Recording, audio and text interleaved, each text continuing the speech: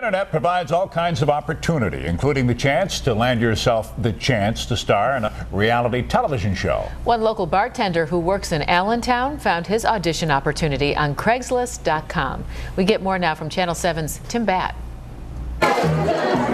In case you haven't already met, this is Jimmy. He's been voted Best Buffalo Bartender for two years running. I've bartended five years for Bennigan, seven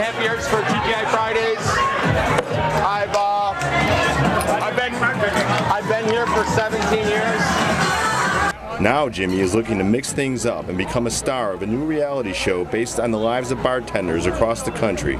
He's doing it for fun and for hometown pride. More for my customers and for Buffalo.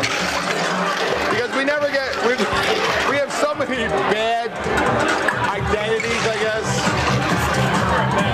And just that Buffalo's a party town. We know how to have fun. The cathode ray is where Jimmy practices his craft, offering libation and laughs to his loyal customers. If selected, his reality will be the focus of a one-week shoot by the show's production team. If I move on, they come here for a week. Film for a week, and then if I move on from there, I go to LA for a week. The reality is, if he makes the show or not, Jimmy is already a star at the bar.